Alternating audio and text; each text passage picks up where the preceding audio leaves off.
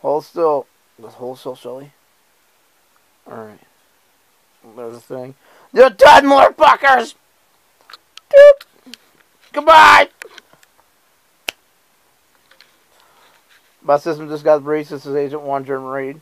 It's January 4th, 1994. Something's wrong with Star Wars Defense Systems Agency. Someone just pulled up an illegal timer out in Blaze Rears Field. I swear to God, we're going back in it. We're in D-Day. Start fucking them up, boys! Is that Diesel?